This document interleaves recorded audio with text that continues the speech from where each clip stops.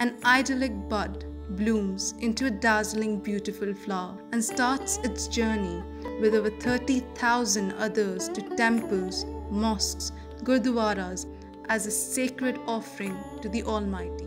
Do we even realize what it leads to? More than 2 million tons of flowers dumped in rivers every day, along with toxic pesticides and insecticides used to grow them, pollute the water as well as land. We at Enactus Aryabhat pledged to fight these problems and put the waste to use, and there emerged the idea of the project Palaash.